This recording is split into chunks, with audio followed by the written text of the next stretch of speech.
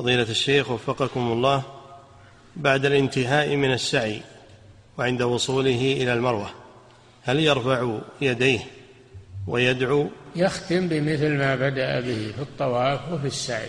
نعم.